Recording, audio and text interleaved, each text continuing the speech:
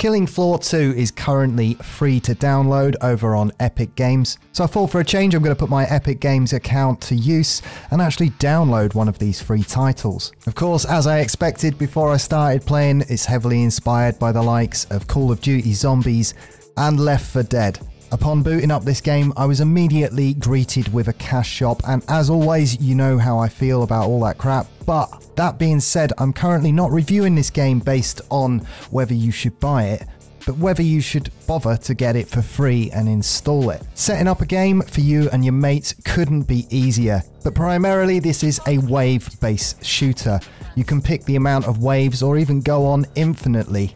You're never quite safe from an enemy when you get backed into a corner. They come from everywhere, bursting out of walls, coming through windows.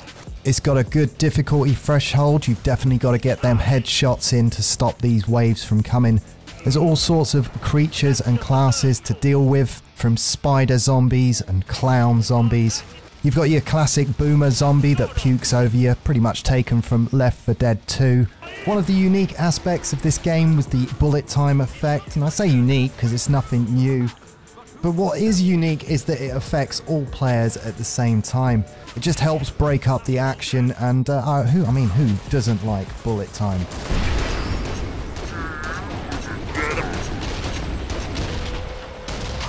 I would say that if you're into games like Left 4 Dead 2 and you've got a group of mates, preferably I would say four or more, then this is definitely worth a try. It's a good laugh. I myself am not likely to jump into a random group. I always prefer to play these games with my friends. And between me and a group of friends, all we've got to do is take out these waves of zombies.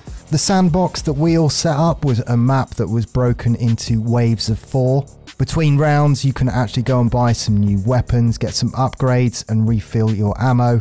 And as the time goes on, the waves get harder and harder.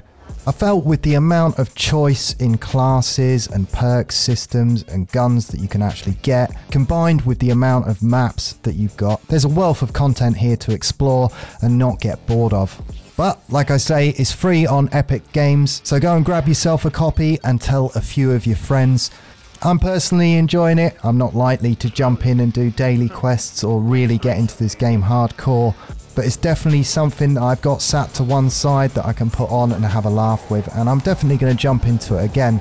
So it's just a quick heads up from me. Have a good weekend, everybody, and I'll be returning with some Ark very soon. Until next time, I'm James from Complete Games, and I'll see you.